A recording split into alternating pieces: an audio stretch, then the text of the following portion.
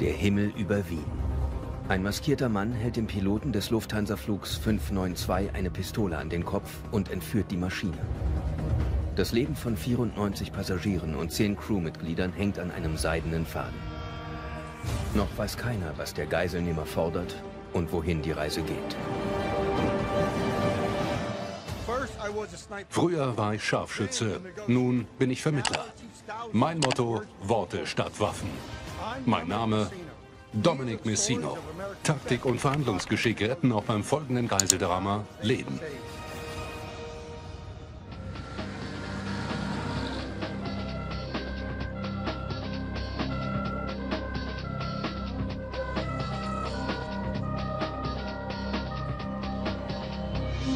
Frankfurt am Main, 11. Februar 1993.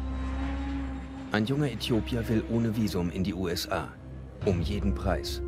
Er hat einen mörderischen Plan.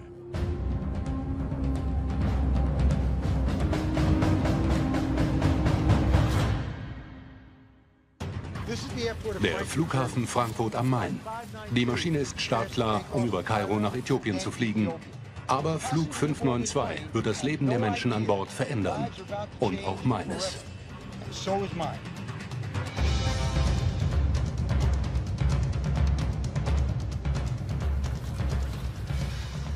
94 Passagiere checken ein.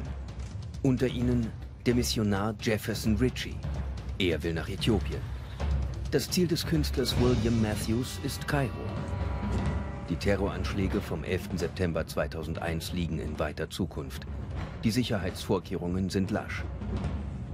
Ein Passagier nutzt das zu seinem Vorteil.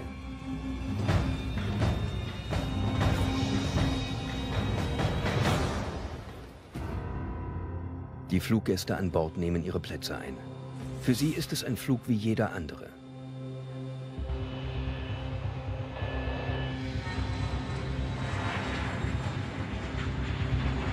Die Maschine startet pünktlich und die Passagiere lehnen sich entspannt zurück. Alle bis auf einen.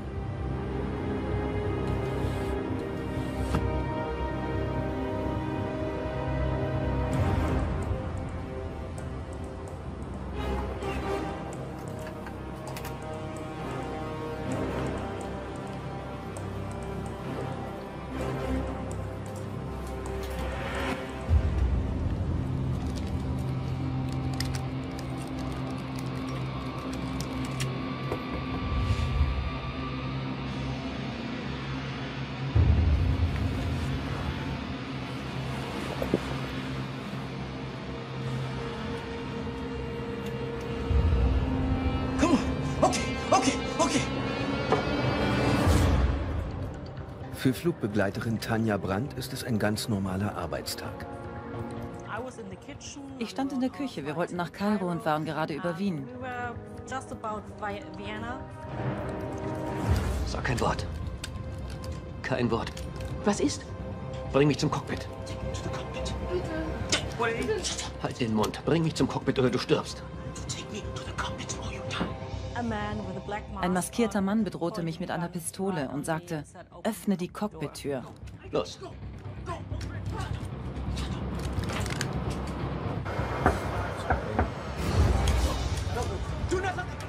Seht mich nicht an.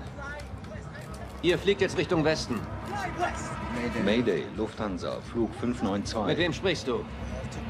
Ich informiere die Flugsicherung. Du sprichst mit niemandem außer mit mir oder ich erschieße dich. Warum fliegen wir nicht nach Westen? Er hatte die Pistole in der einen, den Kompass in der anderen Hand und kontrollierte damit, ob wir die Richtung änderten. Änderst du den Kurs? Ich erschieß dich. Und er drückte die Pistole so fest an den Kopf des Flugkapitäns, dass er gegen das Cockpitfenster stieß. Die Lage war sehr ernst. Ich erschieß dich. Dreh nach Westen.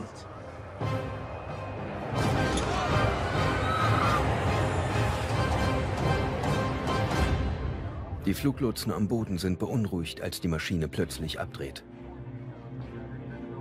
Dankeschön. Ja, der Lufthansa 592, weicht vom Kurs ab. Was ist denn los mit denen? Ja, ich. Das ist ja verrückt. Lufthansa 592, Lufthansa 592, this is control. Come in, please. Lufthansa 592, Lufthansa 592, control. Please explain your actions. Come in. Ich muss unseren Kurs durchgeben. Wir kollidieren sonst mit anderen Flugzeugen. Okay. Ich sagte Mayday, Mayday, Entführung im Gange. Ein bewaffneter Mann zwingt uns, rechts abzudrehen.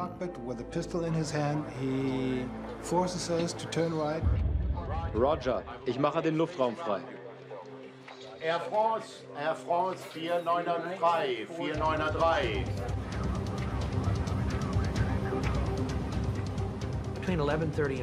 Gegen 12 Uhr drehte der Flieger plötzlich um. Das kam mir komisch vor. Im selben Moment machte der Pilot eine Durchsage. Meine Damen und Herren, wir haben leider einen Passagier an Bord, der nicht nach Kairo fliegen möchte. Ich erinnere mich an eine Frau, die offenbar Deutsche war und verstand, was der Pilot sagte. Sie wurde leichenblass. Mir war sofort klar, dass das, was sie hörte, sie zu Tode ängstigte. And I could see that whatever it was that he had said had terrified her. Wir haben einen Passagier an Bord, der nicht nach Kairo möchte. Er hält mir eine Pistole an den Kopf. Wir drehen um. Sein Ziel ist uns nicht bekannt. Wir folgen seinen Anweisungen. Und informieren Sie, sobald wir Näheres wissen. Vielen Dank.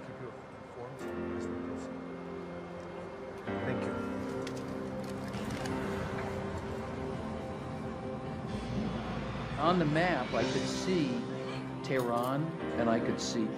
Auf dem Bildschirm sah ich, dass wir Teheran und Bagdad viel näher waren als Kairo. Ich bekam Angst. Wie zum Himmel konnte das passieren? Was wollte dieser Mensch? Womit würde das enden?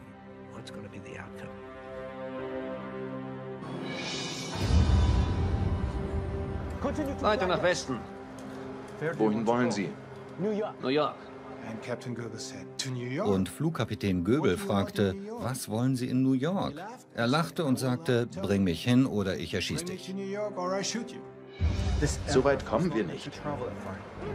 Lüg mich nicht an. Die Piloten wissen, ein Direktflug nach New York ist unmöglich. Die Maschine würde in den Atlantik stürzen. Wir brauchen mehr Treibstoff für die weite Strecke. Stimmt das? Schauen Sie, die Strecke nach New York ist wesentlich länger als nach Kairo. Wenn Sie dahin wollen, müssen wir einen Tankstopp einlegen. Nach einer Weile begriff er, dass der Treibstoff für den Flug nach Kairo niemals bis New York reichen würde. Okay, wo können wir nachtanken? Wir müssen in Deutschland landen. Dann in Bremen. Da ist die Landebahn zu kurz. Wohin dann? Hannover. Wir tanken in Hannover. Keiner kommt an Bord. Keiner darf raus. Sie sollen dort alles vorbereiten. Er kündigte die Landung in Hannover an. Meine Damen und Herren, unser Ziel hat sich geändert. Statt nach Kairo fliegen wir zum JFK Airport in New York. Für diese Strecke brauchen wir allerdings mehr Treibstoff. Wir landen gleich in Hannover, wo wir tanken werden. Dann geht es weiter nach New York. Vielen Dank für Ihre Geduld. Wir tun unser Möglichstes in dieser Situation. Danke.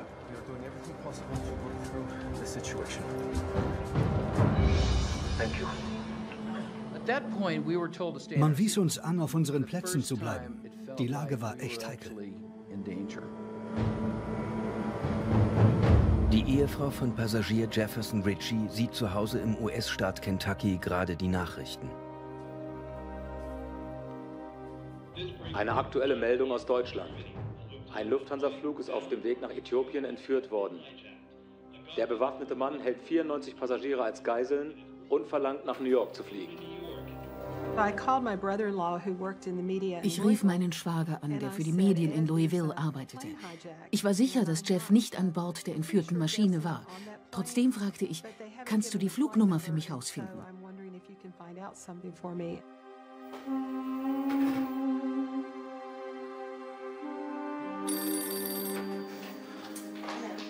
Er rief zwei Minuten später zurück. Es war die Nummer von Jeffs Flug.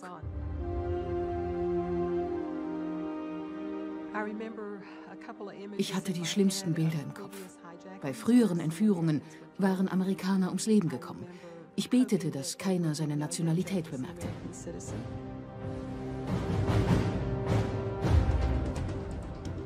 In New York ist es kurz vor 8 Uhr.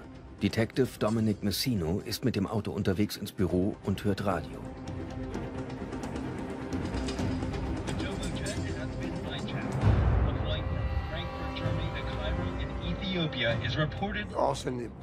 Plötzlich kam die Nachricht von der Flugzeugentführung aus Deutschland im Radio.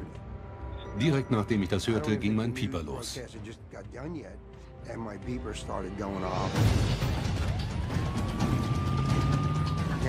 Ich raste mit Blaulicht und Sirene zum nächsten Telefon. Die Maschine ist bereits seit fast zwei Stunden in der Gewalt des Entführers. Lufthansa 592 an Tower, bereit zur Landung auf Bahn 27. Das Flugzeug landet zum Nachtanken in Hannover.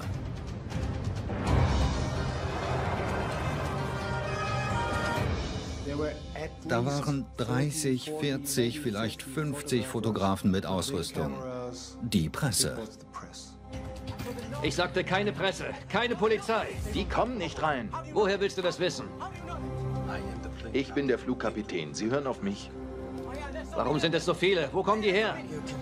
Einen internationalen Flug zu kapern erregt Aufmerksamkeit. Wie lange dauert das hier? Nicht lange. Sobald der Tank aufgefüllt ist, fliegen wir. Wir baten den Lotsen im Tower, uns schnellstens den Tanklaster zu schicken. Der Kerl wurde immer nervöser. Auch für die Passagiere an Bord ist die Situation unerträglich. Wir parkten am Ende der Rollbahn. Um uns herum nur Bäume. Als ich raussah, entdeckte ich überall im Schatten der Bäume bewaffnete Männer. Sie waren überall. Es war so unwirklich.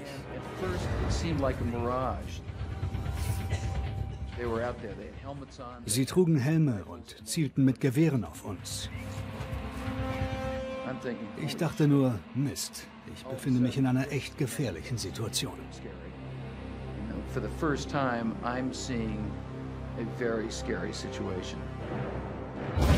94 Fluggäste und 10 Crewmitglieder befinden sich inmitten eines wahr gewordenen Albtraums.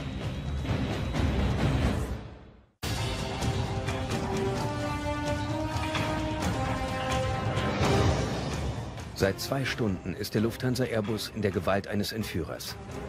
Sein Motiv ist noch unklar. Fakt ist, der Mann will nach New York und bedroht die Piloten mit seiner Pistole.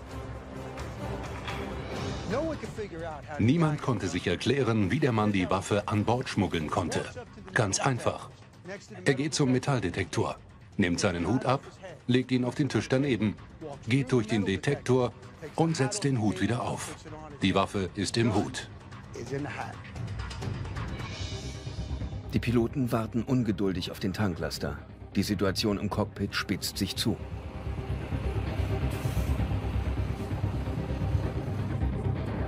Was ist los? Ein Problem mit dem Tanklaster. Lufthansa 592, wann können wir mit Betankung rechnen? Vom Tower erfuhren wir, dass der Tanklasterfahrer verheiratet war und Kinder hatte. Er sagte einfach, das ist mir zu gefährlich, mache ich nicht. Das geht nicht. Ich werde Passagiere erschießen, wenn wir nicht in zehn Minuten abheben. Kapiert? Ich erschieße Leute. Wir tun unser Bestes. Der Treibstoff kommt. Ich meine es ernst. Zehn Minuten. Verstanden? Hier Lufthansa 592 brauchen sofortige Betankung. Zehn Minuten. Sie mussten einen Ersatzfahrer finden. Bei einem Blick aus dem Fenster entdeckt Passagier Jefferson Ritchie Scharfschützen, versteckt im Gebüsch. Ich war emotional nicht darauf vorbereitet, darüber nachdenken zu müssen, dass dies mein letzter Tag auf Erden sein könnte.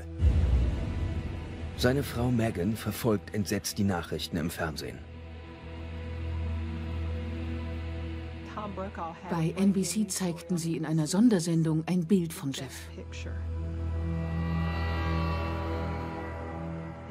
Es machte mir Angst, wie schnell sie diese Informationen hatten. Gott schütze ihn.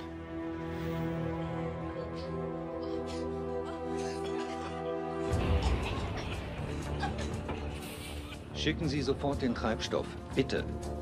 Genehmigung erteilt, Lufthansa 592. Es dauerte 40 Minuten, bis der Tanklaster da war.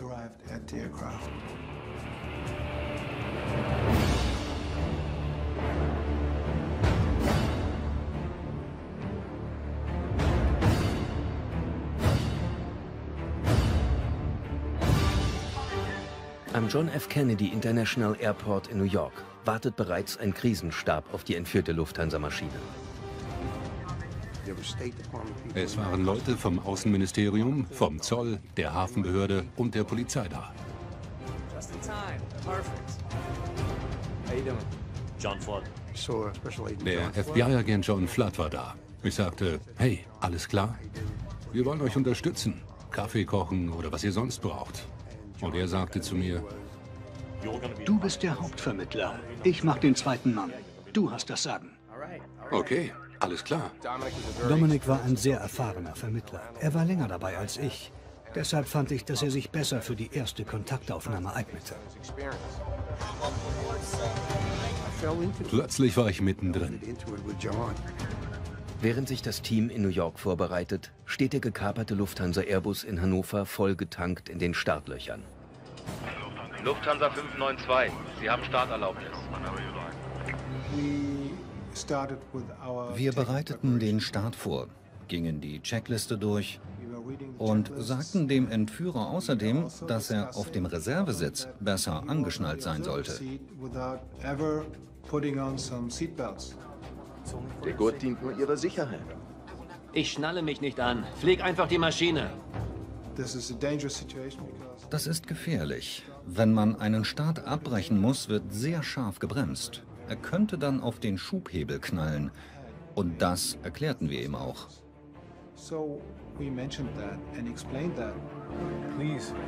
Bitte zu Ihrer Sicherheit. Halt den Mund! Ich schnall mich nicht an. Konzentrier dich aufs Fliegen. Kapiert? Ja. Mund halten. Fliegen. Der Kapitän und ich sahen uns an. Wir sprachen nicht, aber wir dachten beide dasselbe.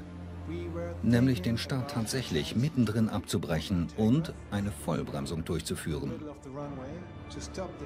Dann würde der Kerl nach vorne stürzen und vielleicht, das wäre unsere Chance. Ein gewagter Plan. Falls er nicht funktioniert, steht das Leben aller Geiseln auf dem Spiel.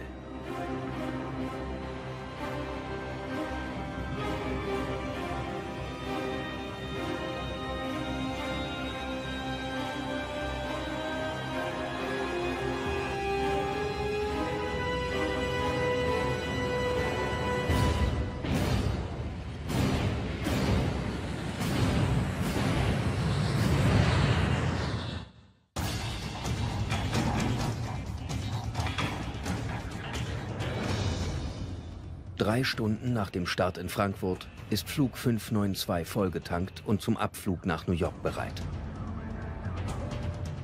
Flugkapitän Göbel und Co-Pilot Jürgens überlegen, ob sie einen geplanten Startabbruch wagen und den Entführer überwältigen sollen.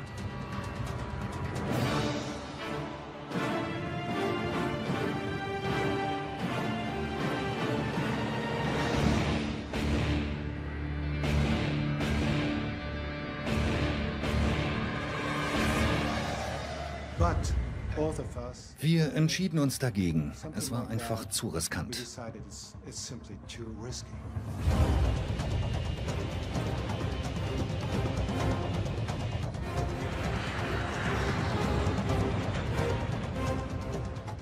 Wir hoben ab Richtung New York.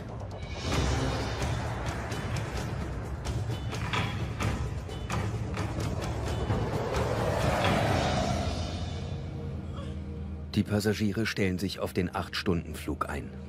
William Matthews rechnet mit dem Schlimmsten. Ich schrieb Postkarten an meine 25 engsten Freunde.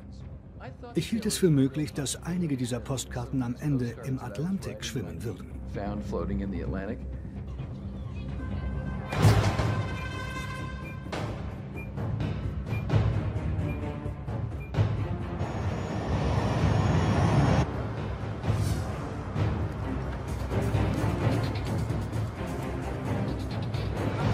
Lange noch? Wie lange noch? Etwa drei Stunden.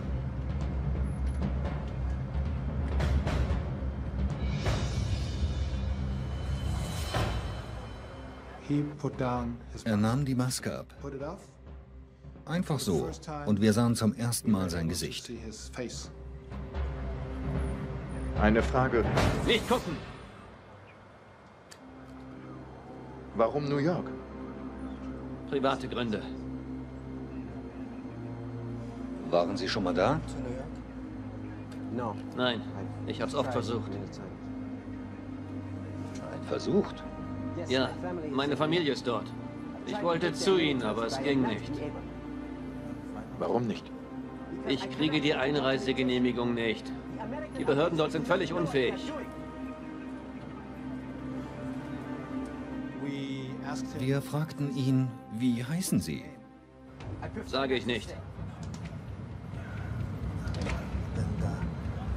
Wie soll ich Sie nennen? Nenn mich wie du willst, mir egal. Wie wär's mit Jack? Ja, Jack, egal. Gut, Jack. Sieh mich nicht an. Wie oft soll ich dir das noch sagen? Jack, verstehen Sie doch. Ich verstehe. Versteht ihr lieber, dass ich euch erschieße, wenn was schief läuft, klar? Ja, Jack.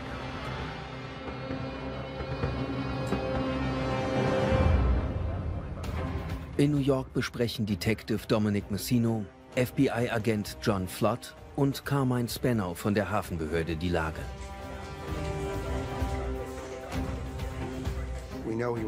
Wir wissen also, dass er nach New York will. Aber was ist sein Motiv? Was will er wirklich? Es gelingt dem Krisenstab, Funkkontakt zum Flugzeug herzustellen.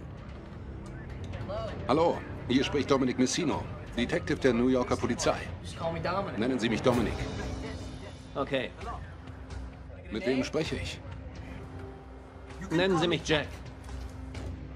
Jack, sagen Sie mir, was genau Sie wollen.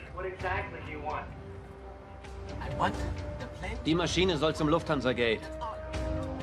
Wenn sie woanders hinkommt, gibt's Verletzte.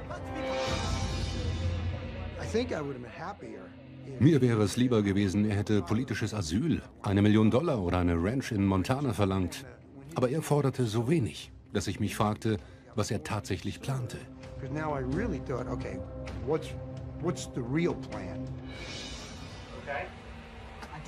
Keiner macht Fotos von mir und keine Polizei. Sonst gibt es Tote. Haben Sie verstanden? Die Wahrheit ist, dass man genau das nicht verhindern kann. Natürlich wird fotografiert. Das ist ein riesiges Terminal. Eine Räumung ist unmöglich. Aber ich hatte einen Vorschlag. Okay. Es gibt eine VIP-Area, wo wir besonders wichtige Leute hinbringen. Dort werden keine Fotografen sein. Niemand wird sie stören. Dort haben sie ihre Ruhe. Keine Tricks. Wenn irgendwas schief läuft, erschieße ich jemanden. Verstanden?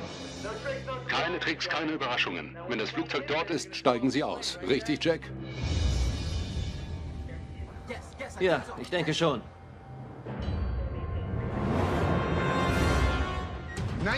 »90 Minuten vor Ankunft des entführten Flugs wird der gesamte Kennedy Airport dicht gemacht. Nichts geht mehr. Das ist unheimlich.« Die Passagiere wissen nicht, was im Cockpit vor sich geht. William Matthews beschließt, aktiv zu werden. Ich habe eine Idee, wie wir den Typen überwältigen könnten. Haben Sie mal Kampfsport gemacht? Waren Sie beim Militär? Jeder antwortete, ich will nichts damit zu tun haben. Ich dachte nur, du Idiot. Nichts damit zu tun haben. Du steckst bereits mittendrin.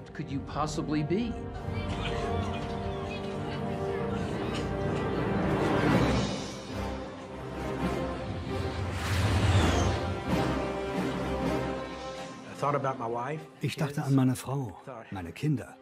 Wenn das hier schief läuft, was wird aus ihnen?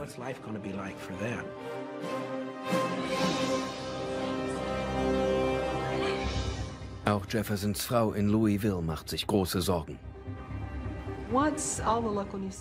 Als die Lokalnachrichten darüber berichteten, beschloss ich sofort, meine Kinder aus der Schule zu holen und nach Hause zu bringen. Sie sollten es nicht von anderen erfahren.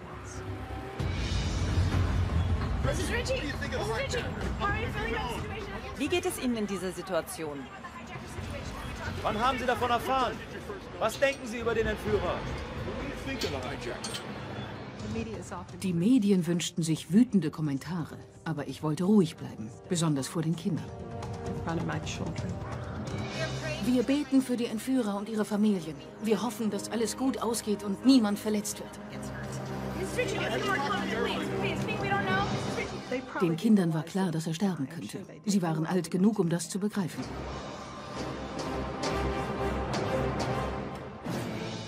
Eine Stunde vor der Landung trifft der Leiter des FBI-Krisenbewältigungsteams, Gary Nösner, mit seinen Männern am JFK Airport ein. Wenn der Entführer plötzlich anfangen sollte, Menschen an Bord zu töten, müssten wir eingreifen.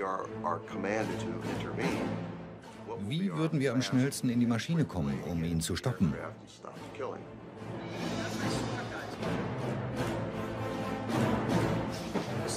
Wie sieht's aus, Dominik? Hast du den Namen? Du musst ihn im Gespräch unbedingt mit Samthandschuhen anfassen. Wir dürfen ihn nicht verschrecken, okay? Na klar. Man kann noch so viel planen, aber es kann immer etwas Unerwartetes passieren. Vermittler müssen oft spontan auf eine Situation reagieren und das kann schiefgehen. Okay, Jack, wir müssen darüber reden. Was geschieht, wenn Sie von Bord gehen? Ich will keine Uniformierten sehen. Bitte? Ich will keine Polizisten oder Uniformierte sehen, verstanden? Okay.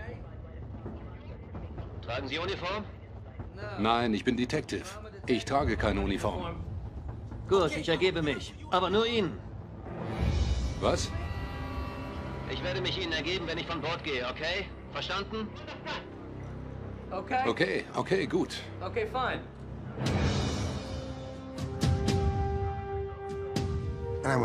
Oh Mann, was hatte ich mir da eingebaut? Ich dachte nur, verdammter Wahnsinn. Wenn man so etwas sagt, das ist, als hätte man eine Kugel abgefeuert. Die kann man nicht mehr zurückholen. Tja, Jack hatte das getan.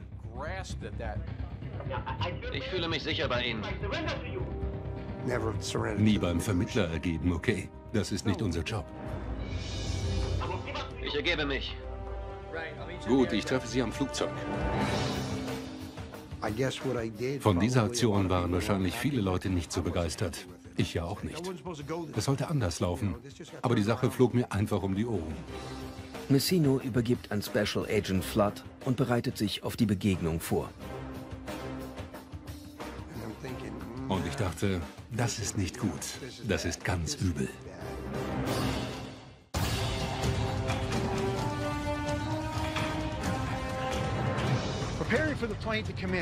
Hier wird die Maschine landen. Dort stehen L-förmige Schutzwände.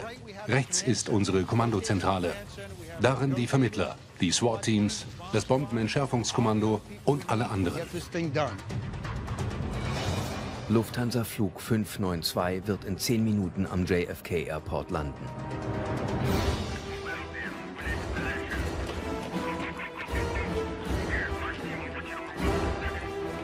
Ein Spezialkommando gibt Detective Messino Deckung, falls etwas schief läuft. FBI-Agent John Flood nimmt über Funk Kontakt zu dem Entführer auf.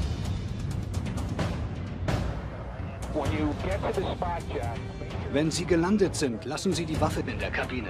Öffnen Sie die Flugzeugtüren erst, wenn wir Sie über Funk dazu auffordern. Verstanden? Alles klar.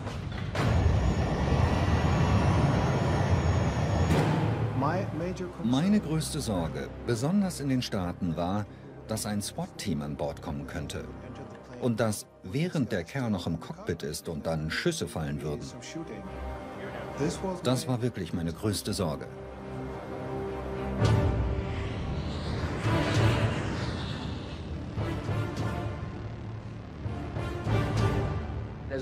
Als ich aus dem Fenster blickte, sah ich, dass der gesamte Highway lahmgelegt war. Überall blinkten rote Lichter, alles war voller Einsatzwagen. Das war beängstigend.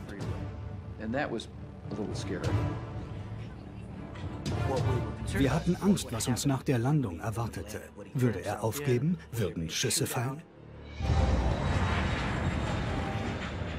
Jefferson Richies Familie verfolgt die Landung live im Fernsehen. Ist Papa okay? Ja, Schatz, sicher. Lass uns weiter für ihn beten. Als das Flugzeug landete, sah ich zu meinen Kindern, ob es ihnen auch gut geht.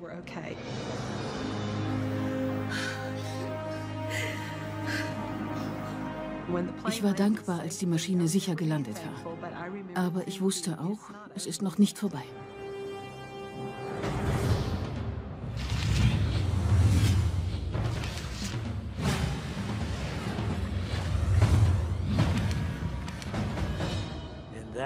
Und dann dachte ich, oh je, überall Einsatztruppen, Feuerwehr, Polizei. Es sah aus wie die Bühne für das letzte Gefecht. Ich sah raus und überall waren SWAT-Teams und Polizisten mit gezogener Waffe auf den Dächern. Sie waren ein Stück vom Flugzeug entfernt, aber man konnte sie sehen.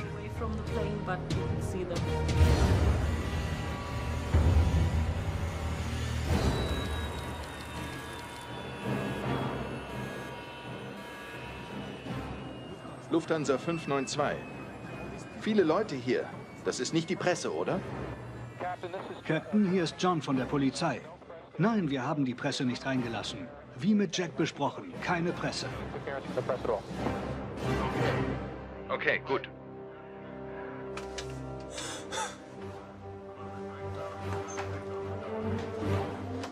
Für Messino wird es ernst. Er ist unterwegs zum Flugzeug. Nerven des Entführers liegen blank. Und dann hieß es plötzlich, der Pilot wolle mich sprechen. Jemand gab mir ein Funkgerät und der Pilot fragte, wo stecken Sie? Warum dauert das so lange? Bitte haben Sie Geduld. Sie wissen, was hier los ist. Es ist nicht meinetwegen. Okay, lassen Sie mich kurz mit Jack sprechen. Ich höre. Hey Jack, hier ist viel los. Ich habe jetzt alles vorbereitet und bin unterwegs. Sie können uns gleich sehen. Wir fuhren an den Schutzwänden vorbei und hielten vor dem Flugzeug. Ich fragte, ob er mich sehen könne. Er sagte ja. Ich besorge eine Treppe. Bitte haben Sie etwas Geduld. Jetzt händigen Sie dem Piloten Ihre Waffe aus. Der Pilot soll den Abzug nicht berühren und die Waffe hochhalten, damit wir sie sehen können.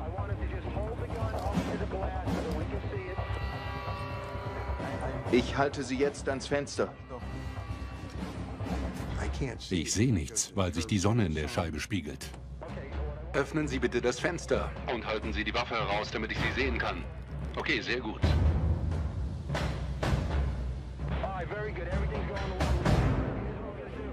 Sobald die Treppe da ist und Sie sich völlig sicher fühlen, sage ich Bescheid. Und Sie lassen die Tür öffnen, okay? Okay. Danach kommen Sie bitte langsam die Treppe runter und halten Ihre Hände über den Kopf. Die Handflächen zu mir.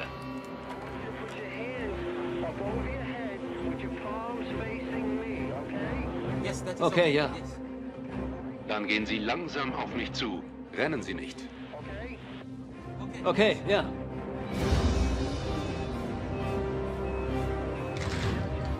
Jack, sind Sie soweit? Ja, ich komme jetzt raus.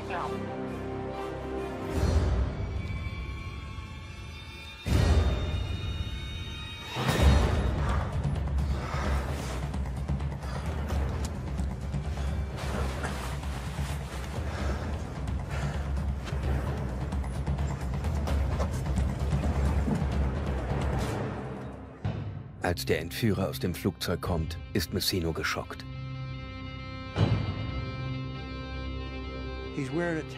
Er trägt eine Maske und sieht aus wie ein Terrorist.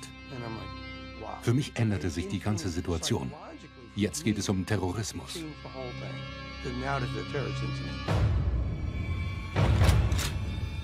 Messino hat dem Entführer nicht gesagt, ohne Maske und ohne Rucksack.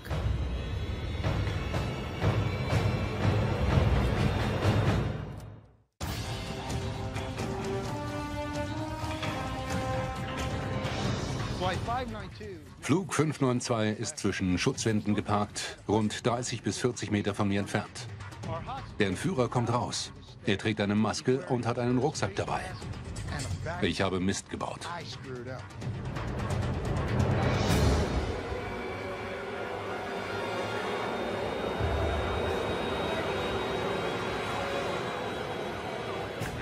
Spezialkommando auf Position. Ich hätte ihm sagen müssen, dass er nichts mit rausbringen soll.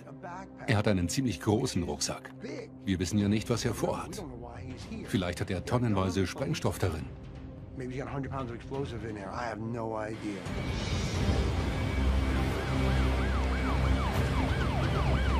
Heben Sie die Hände über den Kopf. Jetzt gehen Sie auf mich zu. Können Sie mich hören? Heben Sie Ihre Hände über den Kopf. Handflächen nach vorn.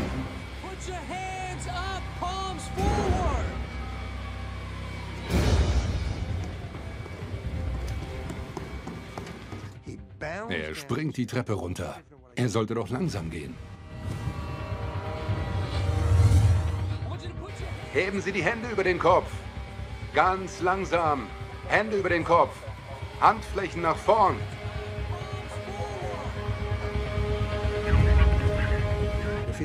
Macht er es nicht, greifen die Scharfschützen ein.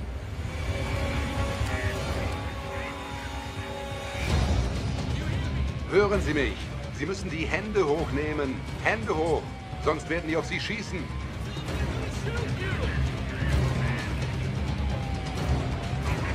Los, los, los.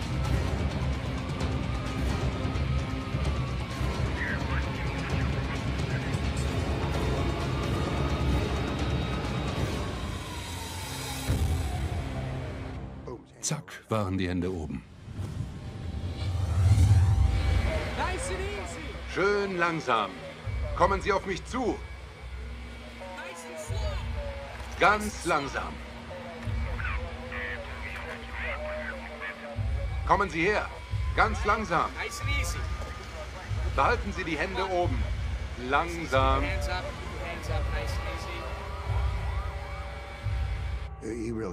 Er war viel zu nah. Hätte er Sprengstoff dabei gehabt, wären wir draufgegangen. Auf Position. Ganz langsam. Ich nehme jetzt Ihre Tasche, okay? Schön langsam. Lehnen Sie sich gegen den Wagen. Ganz langsam die Hände runter. Ich nehme Ihnen das ab, okay? Ich nehme Ihnen das ganz langsam ab. Die Hände nach oben, bitte. Ganz langsam. Die Hände hoch. Die Hände nach oben, bitte. Auf die Motorhaube lehnen.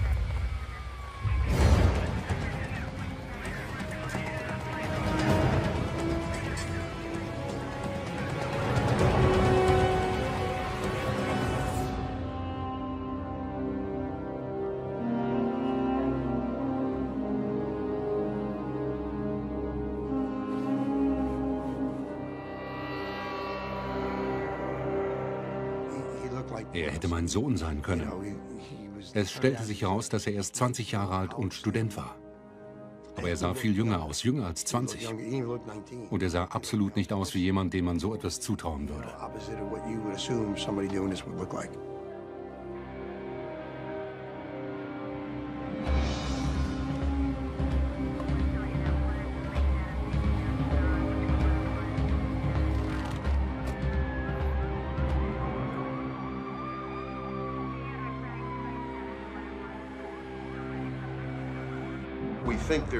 Wir gehen von nur einem Entführer aus, aber das Flugzeug ist noch nicht gesichert.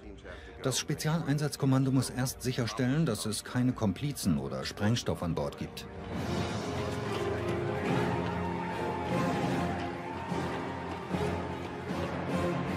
Hände hoch! Hände hoch! Hände über den Kopf! Hände oben halten, ganz nach oben! 15 Minuten lang durften wir uns nicht rühren. Wir saßen da, die Hände nach oben, während sie nach und nach die Gepäckfächer kontrollierten.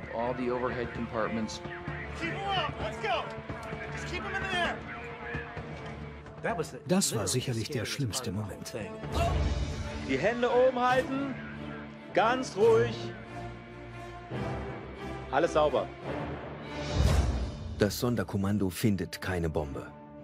Weder an Bord noch im Rucksack.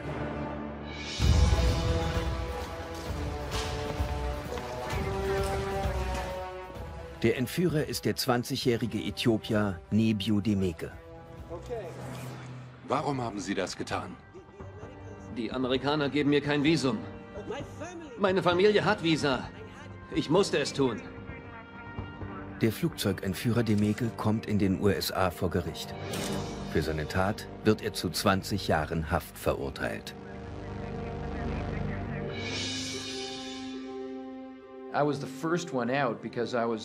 Ich ging als erster raus, weil ich ganz vorne gesessen hatte. Meine Mutter schaut sich die Nachrichten auf CNN an und plötzlich sieht sie da ihren Sohn. The pilot was incredible. The pilot reinforced everybody's feeling of confidence. Ich bin sehr froh, dass ich gut ausgebildet wurde. Nur so konnte ich richtig reagieren. Wer glaubt, Sicherheit sei zu teuer, schauen Sie mal, was ein Unfall kostet.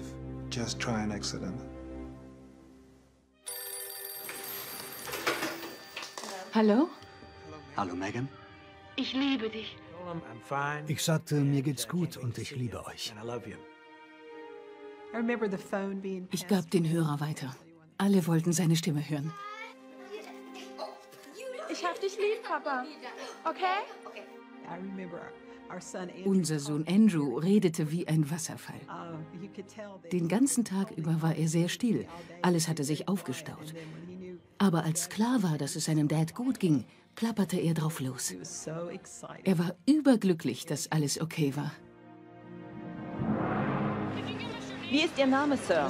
M-I-S-I-N-O. First name Dominic.